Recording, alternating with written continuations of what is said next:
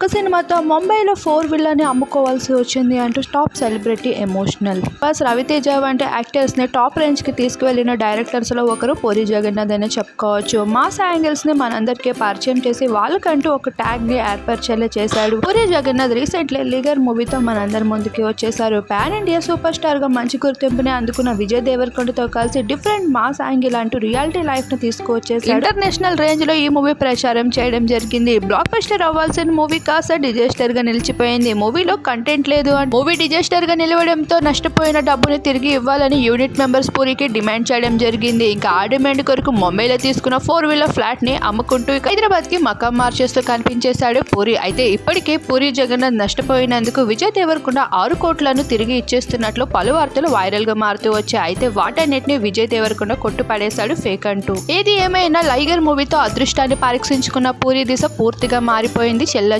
చెదురుగా